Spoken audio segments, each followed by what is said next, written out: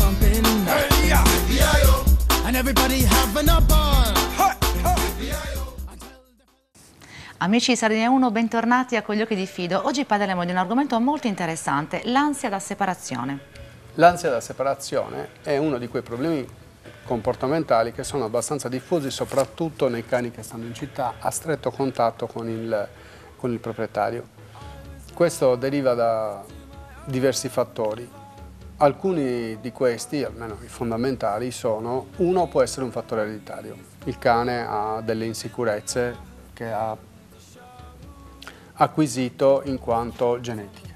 Il carattere del cane, eh, in questo caso dal punto di vista genetico, viene trasmesso e non è modificabile come nel caso dell'aspetto. Il eh, secondo lato può essere un, una mancata gestione di leadership da parte del proprietario, quindi il cane pensa di possedere il proprietario. Un altro, un altro dei fattori è una mh, mm, errata eh, gestione dei tempi, in questo caso, eh, sia dell'affettività sia del lasciare solo il cane, che non sono strettamente legati alla gerarchia, come a volte si pensa. Questi fattori generici possono portare a quella che è l'ansia da separazione, ma fondamentalmente in cosa eh, si traduce in pratica? Manie distruttive, avete presente le ciabatte distrutte, uscite, i mobili sono distrutti, oppure il vicino che vi chiama perché il cane abbaia in modo incessante, oppure in casi più gravi possono essere il cane non mangia, addirittura arriva a non bere, o nelle manifestazioni dove c'è diciamo, la massima esplosione e diventa in questo caso non più un problema comportamentale ma una patologia comportamentale, si arriva all'anoressia e all'autolesione. Stefano, sentendoti parlare mi è venuta in mente una, una, domanda. Potrebbe essere che il primo argomento, quindi quello relativo al, al cane eh, dal punto di vista genetico, questa ansia di separazione, sia anche legata dalla separazione che il cucciolo ha avuto dall'allontanamento con la mamma? Diciamo che mh, la domanda mi ha ricordato una delle cause dell'ansia di separazione, che è l'abbandono subito, ma non la separazione eh, dalla madre o dai fratelli, bensì quando il cane va a stare con un nucleo familiare e poi viene abbandonato. Quindi potrebbe andare in un canile o cambiare famiglia. Quella situazione può destabilizzarlo da un punto di vista affettivo e in quel caso l'abbandono subito è una delle cause di ansia da separazione. Il fattore genetico non è, è, è insito nel DNA del cane, quindi al di là delle esperienze che il cane fa, ha insito un'insicurezza dal punto di vista caratteriale, ha delle tarie genetiche perché magari non ha un equilibrio nervoso eh, particolarmente solido, ha una tempra scarsa, la tempra che cos'è?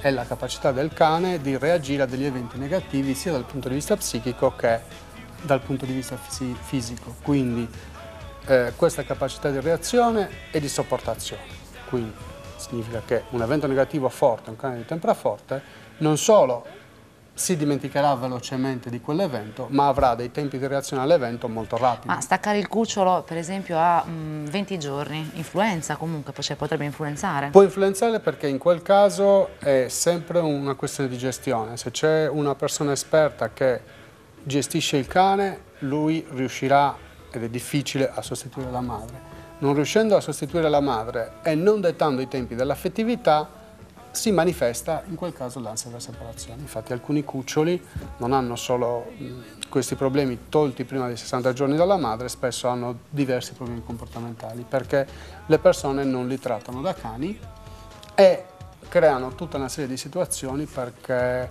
che derivano dalla mancanza di regole, dalla mancanza proprio di dettare i tempi dell'affettività che la madre in quel periodo eh, dà al cucciolo quello di cui abbiamo parlato già altre volte, parlando anche dei metodi educativi. Abbiamo visto in, in trasmissione, nella nostra rubrica, qualche volta il, il, mio cane Tito.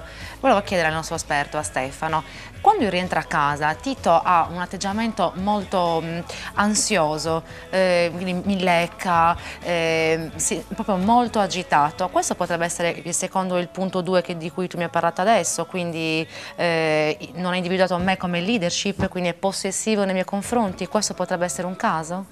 Allora, questo è lo spunto per dare anche una risposta.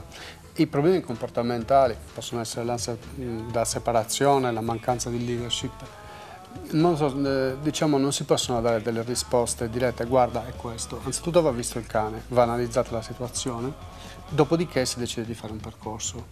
Eh, quello che una persona racconta per esperienza è quello che la persona vede, ma in realtà eh, un esperto che vede la situazione dall'esterno riesce a percepire delle sfumature, perché non è una cosa così schematica, mancanza di leadership, ansia, oppure eh, la mancanza di leadership, il cane mi ringhia. Mm, Forse io non ci complesso. sono, lui non mangia, non beve, quindi ho notato allora, che tutti questi esempi che tu hai, hai appena trattato il corrispondono. Il è molto legato alla persona. Sicuramente il cane quando la possibilità ti segue sta sempre appiccicato a te eh, e quindi comunque la possessività è una caratteristica del molosso. Quindi intrinseca, okay, quindi, quindi intrinseca sì. nel cane e intrinseca nel molosso.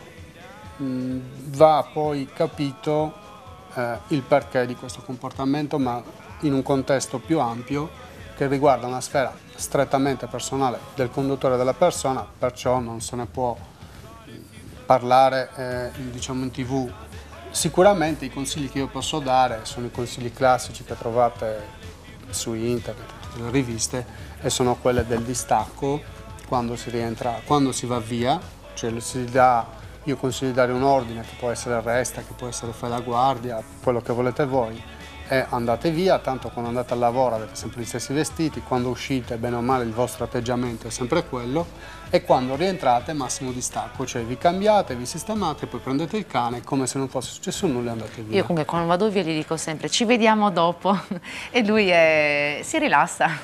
Esatto, basta questi atteggiamenti. Per il resto credo che poi è una cosa che va approfondita in un altro contesto.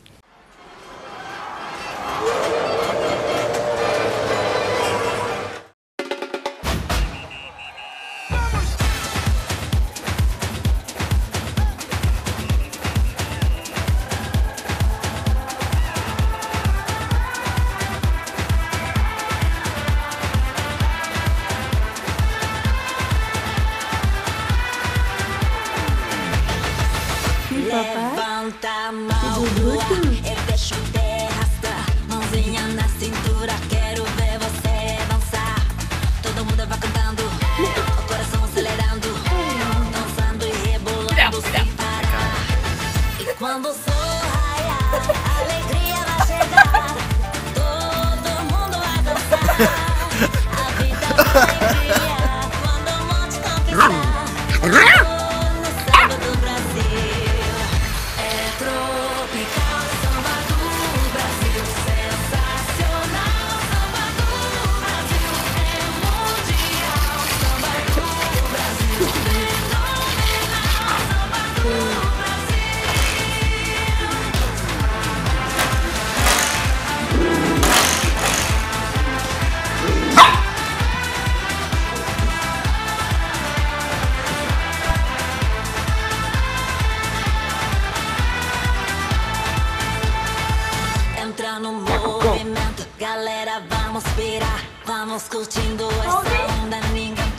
Negar.